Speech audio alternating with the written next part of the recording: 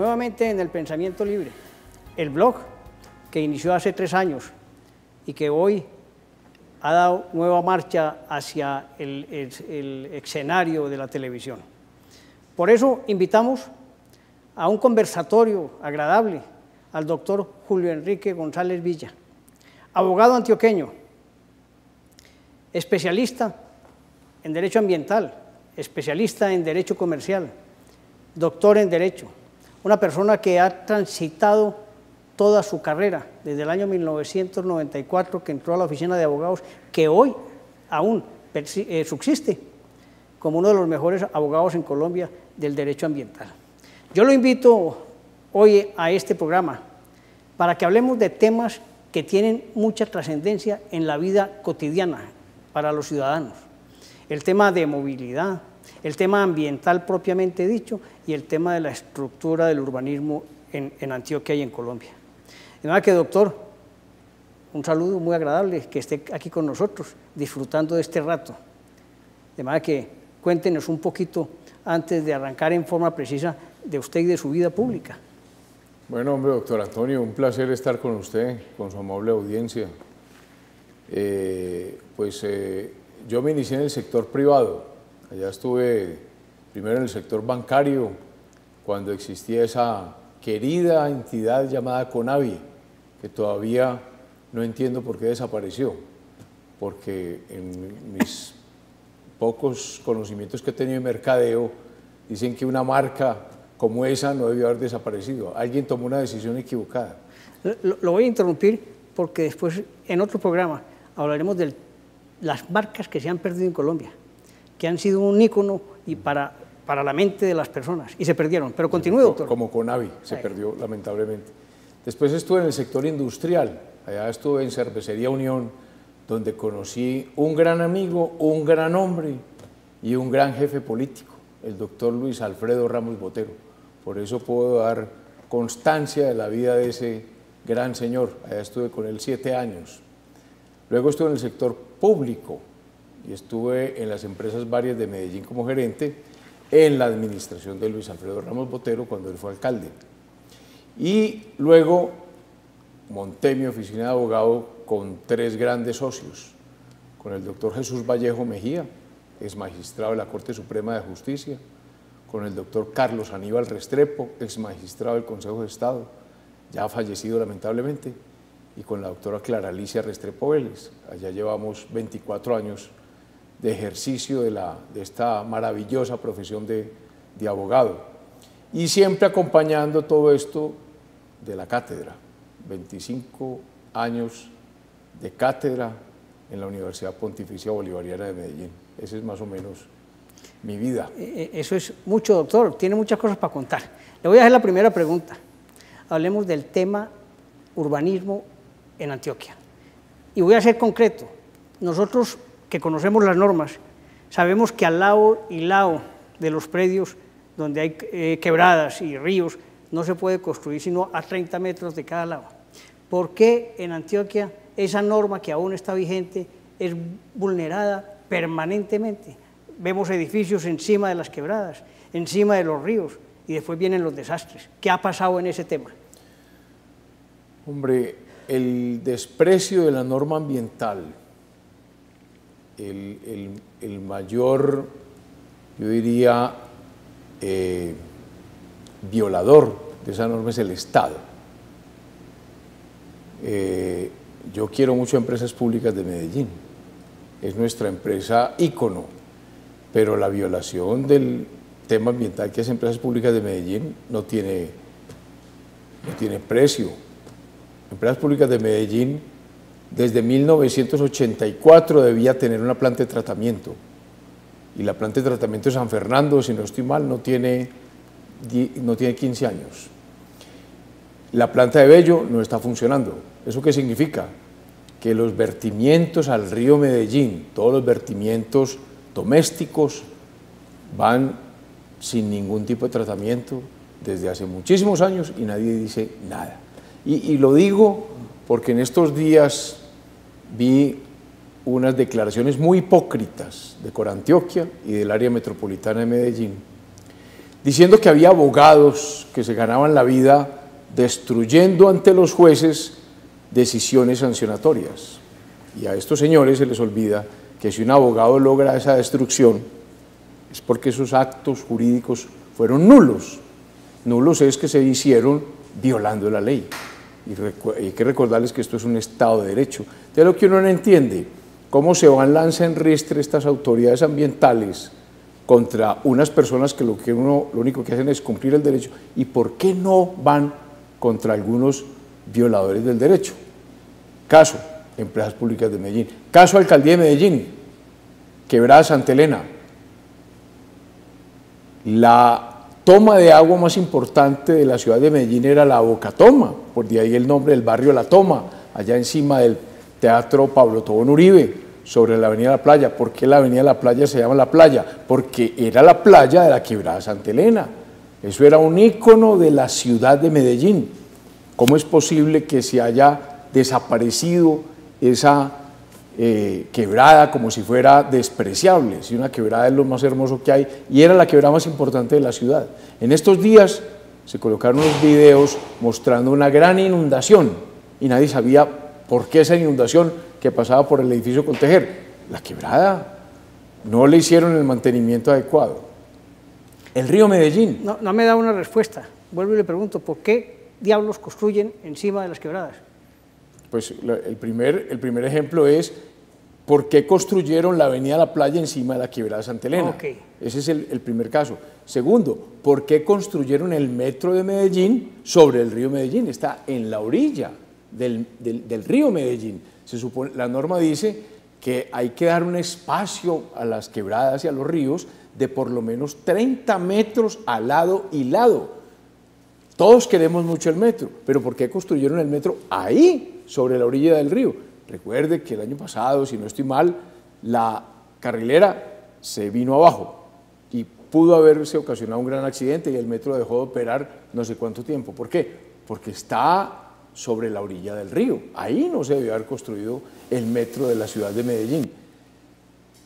En estos días conocí un edificio cuyo nombre se llama Areca, en el, en el sector de Envigado, en la Loma del Esmeraldal, construido sobre un nacimiento.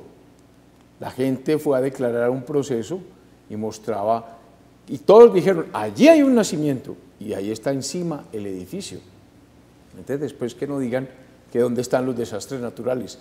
Conocí otra unidad residencial que se llama Canto de Luna, donde fue construida sobre dos quebradas. Y vea, las casas no guardan ninguna distancia a 30 metros. Entonces, ¿dónde está la conciencia primero del constructor y la del Estado? ¿Por qué el Estado no está vigilante? ¿Por no ahí, está...? Ahí le interrumpo para hacer una pregunta, pero se la daré después de estos pequeños cortes comerciales.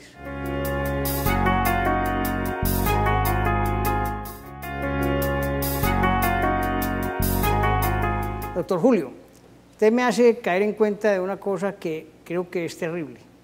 ¿Por qué se le dio esa fuerza tan especial a las curadurías urbanas? ¿Por qué el municipio de Medellín perdió esa gran eh, oficina de planeación que tenía, donde se estudiaba cada proyecto, se analizaba en otras épocas, y hoy le dieron la fuerza y poder a unos curadores que no generan sino problemas a la ciudad? Hombre, yo creo que ese es un buen tema para reflexionar, porque la idea de las curadurías era desatacar a las oficinas de planeación o sea, hacer más ágil y expedito el trámite de una licencia. Pero la verdad fue que se perdió el control, el control sobre el cumplimiento de la norma. Y el curador urbano, como no está ejerciendo bien sus funciones, eh, no tiene los, el equipo necesario. Yo creo que, que esa figura hay que volverla a revisar, porque me parece que está haciendo las cosas inadecuadamente me parece que se están otorgando licencias de construcción, eh, simplemente mirando el tema urbanístico. Es lo único en que el curador urbano tiene alguna idea normativa, pero por ejemplo en el tema ambiental está absolutamente nulo. Ningún curador urbano del área metropolitana del Valle de Aburrá y de Antioquia hace respetar el retiro de 30 metros al lado y lado de cualquier arroyo, porque eso dice la norma, mínimo 30 metros, decreto 1449 de 1977. Yo creo que hay que volver a, revisar el tema de que sean las direcciones de planeación las que vuelvan a otorgar las licencias o por lo menos que haya una especie de, revisión permanente sobre las curadurías urbanas, pero me parece que están sueltas y haciendo lo que, lo que, lo que quieren. Pero el problema yo pienso que viene de los POTs. Yo conocí una señora que me dijo, ¿cómo le parece que haciendo el POT de la ciudad de Medellín me preguntaron que si quería, que si esa quebrada la, la podían desaparecer? Porque sabían que si hay una quebrada hay que guardar 30 metros, o sea que se puede construir una casa más o una casa menos. Entonces, hay un tema de corrupción gravísimo. Un constructor no quiere ver por ningún motivo ni un nacimiento, ni un arroyo, ni un afluente. Entonces, si lo hay, dice que eso no es eso, que eso es un agua descorrentía, que eso es un charco, que eso es un pantanero, que antes si lo secan están haciendo, estabilizando la montaña. Hay un desprecio total sobre el tema ambiental. En vez de convertir el tema ambiental, las zonas verdes, en un, eh, digamos que en un punto fuerte para vender un proyecto, lo convirtieron en un bendito problema. En vez de que una quebrada sea un aliciente para que se guarde un espacio verde y se convierta en un espacio de eh, concentración, de encuentro de la ciudadanía, la tapan como la quebrada Santa Elena o la enderezan como el río Medellín. El río Medellín tenía unos meandros, unas curvas. ¿Por qué desaparecieron eso? El río Medellín es impresionante verlo que usted que es una línea recta, absolutamente recta y por eso cuando viene un gran invierno, el desastre de toda esa agua y esa energía es tremendo. ¿Por qué desapareció el Instituto Mi Río? Eso es una vergüenza para la ciudad. Ahí próximamente, eh, lo interrumpo, conversaremos con el doctor Gerardo Emilio Duque sobre el tema de Mi Río, que él fue uno de los grandes promotores del mismo. Correcto. Eh, eh, y, veremos cómo tenemos hoy una falencia absoluta en el tema humanístico y en el tema de la protección de las vertientes y, las quebradas. Es que a la gente, doctor, volviendo al tema, se le olvida que los ríos tienen memoria.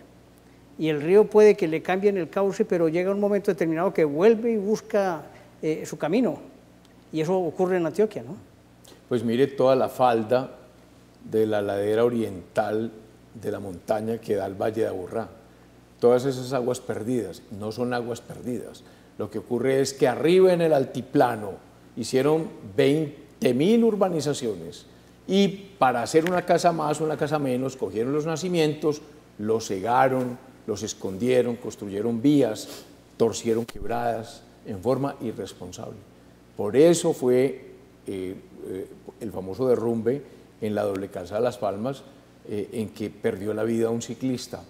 Por, por, eso son los desastres, o sea, el tema ambiental, en vez de convivir con él y respetar la Constitución, porque es un pilar constitucional, nadie quiere saber de eso no, digamos que desde el punto de vista del mercadeo no han querido aprovecharlo como eh, un punto de apoyo y lo, ven como un estorbo. Lo ven como un obstáculo para obtener dinero. Como un obstáculo. Eh. Y eso a mí me parece una equivocación total. lo concreto en Antioquia. En Antioquia tenemos un gran desarrollo a través de, del metro, tenemos un gran desarrollo a través de, las líneas eh, que aportan al, al, metro, los, los buses pues, y tenemos desarrollo eh, hacia, hacia el Parque Arví, el lado del Picacho. Hombre, eso ha sido muy importante para la ciudad. ¿Eso ayudará y contribuirá realmente a la movilidad o es más un tema de belleza que de desarrollo? A mí me parece que el sistema de transporte masivo del, de Medellín eh, es un hito urbanístico, yo creo que, muy, eh, primero, en Colombia no hay ninguna ciudad que tenga ese sistema. Y que esté integrado. Y en el mundo tampoco. Mire, el tema del metrocable, usted no lo ve sino en Medellín. Yo recuerdo, por ejemplo, en Barcelona, que había una cosa parecida para ir a Montjuic, que era un cerro pues, muy importante, pero para un tema turístico. Pero ninguna ciudad en el mundo se le había ocurrido que hubiera un sistema de transporte masivo aéreo, como, como el metrocable y eso lo tiene Medellín. Y sigue desarrollándose, ¿no? Porque hay dos proyectos nuevos. Pues es que es una maravilla. ¿Por qué? Porque está en el aire. Entonces no, no, no, es, no estorba, no hay que destruir casas, no hay que eh, cambiar POTs ni nada por el estilo. Y, yo, y como lo está haciendo Medellín, me parece una maravilla. Un metro, un metro cable un tranvía, un metrobús. Yo creo que eso, yo creo y, que... y todo integrado, no mirando cada uno por su... Yo creo que eso hay que, hay que apoyarlo, hay que estimularlo, hay que incorporar el Valle del Oriente, incorporar el Valle de Occidente, volver a hablar de la ciudad-región y montar sistemas de transporte masivo. Y yo pienso que así se arregla el problema de la movilidad. A nadie se le puede mm, obligar a no tener vehículo, porque todo el mundo quiere tener un vehículo para salir el fin de semana. Pero uno sí podría eh, exigir, por ejemplo, que en el centro de la ciudad no, entraran vehículos y crear un sistema de, parqueaderos especiales, eh, o como en Europa. En Europa, ¿qué hace la gente?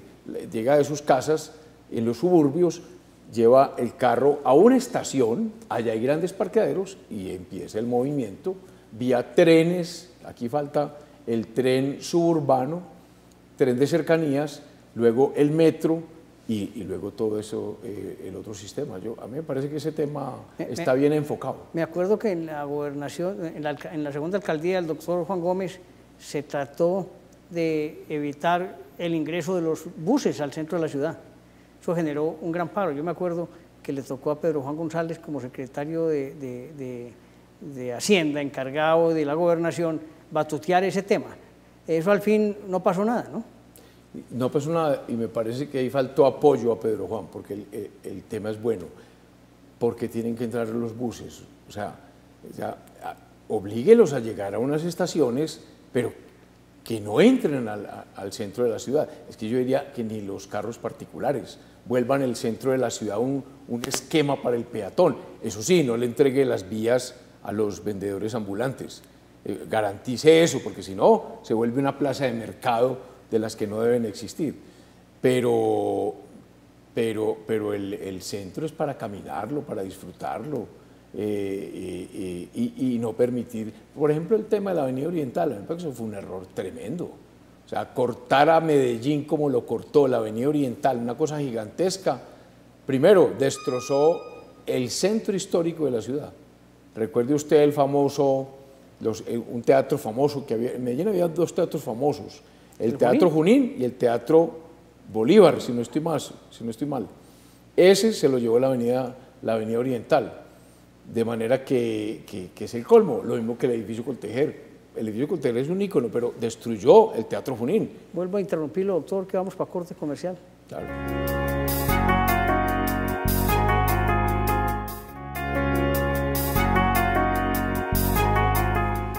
Cuente pues, doctor, el tema del edificio Coltejer y el Teatro Junín.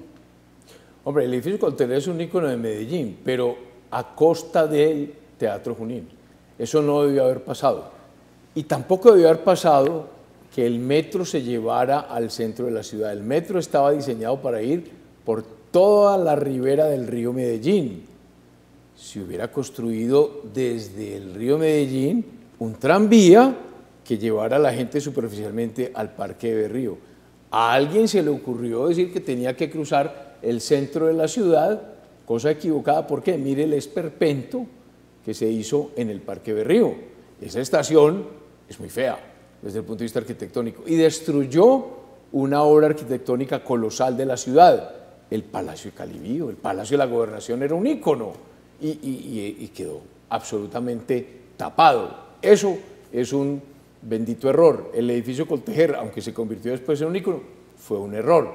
De manera que hay que aprender de no acabar con las cosas, pensar muy bien, hacer planificación, hacer, volviendo al tema ambiental, hacer estudios de impacto ambiental, ver qué tanto se va a afectar el paisaje y cómo bregar a que eso no ocurra para que tengamos una mejor ciudad. Bueno, Antioquia, fuera de todas estas cosas que vemos que son eh, eh, problemáticas, de todas maneras ha avanzado en el tema ambiental. Pero ¿cómo está el resto del país? Mire, si Antioquia está mal, el resto del país está terrible. Mejor dicho, si aquí llueve, por allá no escampa. O sea, las corporaciones autónomas regionales, que son las administradoras del tema ambiental, las mejores del país son las de Antioquia.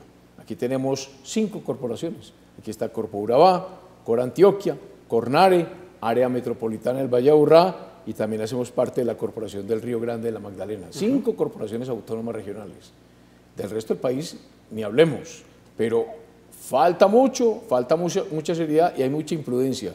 Yo estoy furioso con el tema del ataque que hicieron a los abogados que trabajamos en el tema ambiental y es que porque logramos la destrucción de actos administrativos, cuando si eso se logra es porque el acto administrativo fue mal construido. Y yo creo que sí hay una gran falencia en la autoridad ambiental desde el punto de vista jurídico. Esa es la gran verdad, que si el fallo se modifica es porque hubo un problema desde, desde, la, construcción, desde la construcción, desde la planeación del claro. Yo no me voy a quedar con las ganas de, tomar, de tocar un tema con usted. Al inicio dijo usted que estuvo trabajando al lado del doctor Luis Alfredo Ramos en Servunión, cuando él era secretario general, que después usted lo reemplazó en el cargo. Y sé también que lo ha acompañado en su vida pública y aún lo ha acompañado en este tiempo que, que estuvo detenido en, en, Bogotá. Creo que usted ha sido de los únicos que por lo menos una vez al mes, si no es que es más, ya no me contará, eh, lo estuvo acompañando durante todo ese término de la tragedia jurídica que le ha tocado vivir. Cuéntenos un poquito de eso, porque después también lo invitaremos al doctor Luis Alfredo a que tengamos un conversatorio aquí. Hombre, el doctor Luis Alfredo Ramos, doctor Antonio, es un hombre intachable, es un hombre eh, pulcro, es un hombre íntegro. Y conociéndolo a él fue que yo me enamoré del sector público, porque todos los que nos eh, digamos, formamos en el sector privado, caso mío en Conavi, eh, veíamos con cierto resquemor el sector público, pero viéndolo a él en Cervecería Unión, cómo manejaba a su vez su equipo político, cómo manejaba el directorio conservador de Antioquia primero, luego miembro de la Dirección Nacional, cómo ya había sido contralor departamental, había sido concejal de Sonsón, había sido diputado, cómo llega a ser senador, cómo llega luego a ser ministro, llega a ser embajador, llega a ser presidente del Congreso, iba en esa carrera ascendente imparable y cómo eh, la envidia o el laberinto del sistema judicial en Colombia en forma irresponsable trunca hasta hoy esa, esa carrera. Eh, yo confío plenamente en Él. Cuando Él dijo, me declaro inocente, y pase lo que pase, cuando Él se entregó, en vez de exiliarse, eh, y asume y afronta todas estas cosas, y cuando lo veo yo mensualmente en la ciudad de Bogotá, asumiendo eso y siempre diciéndome, doctor Julio, soy inocente, voy a afrontar esta cosa. Ese es un hombre que necesita este país me alegré muchísimo con la revocatoria del auto eh, que le había privado la libertad, porque no es cierto que haya sido por vencimiento de términos, fue revocatoria. Cuando le revocan a ONU un auto de esos, significa que no existen los motivos por los cuales fue detenido. Es que, entre otras, eh, eh, los que habían declarado en contra de él, todos fueron desistiendo de su testimonio y diciendo que era mentira. Es que, es que el tema de los testigos es muy grave. Eh, no es que la prueba testimonial no sea importante, pero yo recuerdo, usted también es abogado de la bolivariana, recuerdo que en derecho penal nos enseñaban a dos clásicos sobre la crítica del testimonio. Yo no le puedo creer a un bandido, no es que no le pueda creer, pero, yo no pero hay que mirar quién está hablando. No es lo mismo que hable el Papa Francisco a que hable este sinvergüenza Timochenko. No, puede ser lo mismo. Entonces hay que, hay que criticar el testimonio. Entonces recuerdo dos clásicos de la crítica del testimonio, Framarino de Malatesta y Mittermeier. Esos son clásicos. Y, no sé qué pasó o qué pasa con el sistema judicial, que esa crítica del testimonio se volvió un desastre. Y la noticia es que uno de los grandes disque testigos fue declarado culpable por haber dicho, por haberse prestado un falso, testimonio. Y van varios que van por el mismo camino. no hay derecho que una persona como Luis Alfredo Ramos Botero haya estado detenido tres años y tres meses en Bogotá, que es otra cosa eh, que uno no concibe y que un antioqueño, digamos que se molesta. ¿Por qué no lo detuvieron en Medellín? No, tenía que ser en Bogotá, alejado de su familia, alejado de sus amigos, alejado de su entorno, metido en otro, en otro sitio, porque allá. Y segundo, incomunicado. Mensualmente iba yo, pero veía a ese hombre. Eso le iba a preguntar. Sólido. Con una entereza. Y... No, total, enterado, estudiado. Y con la tranquilidad de quien no hizo nada y de que tenía que salir avante. ¿Cómo está saliendo avante? Yo lo único que le pido a la Corte es, hombre, fallen, fallen eso, pero ya, porque es una injusticia la demora de la justicia. A mí, pues, ese cuento de que la justicia cojea pero llega, no, no me gusta. Si en un país un hombre inocente pasa tres años y tres meses en la cárcel detenido, eso es una tremenda injusticia. Así el juez sea probo. El juez debe ser probo y debe ser veloz. Y eso no está pasando con el juicio del doctor Luis Alfredo Ramos Botero. Eh, doctor Julio, muchas gracias por acompañarnos en esta tertulia. Y eso hace el pensamiento libre, permite la expresión de la idea con respeto y puede uno eh, intercalar posiciones siempre manteniendo el esquema de que la libertad de expresión es válida para opinar en Colombia. Muchas gracias y el Pensamiento Libre le agradece que esté aquí con nosotros hoy. A usted y gracias por permitirle a los antioqueños expresarnos en un sitio como estos. Muchas gracias.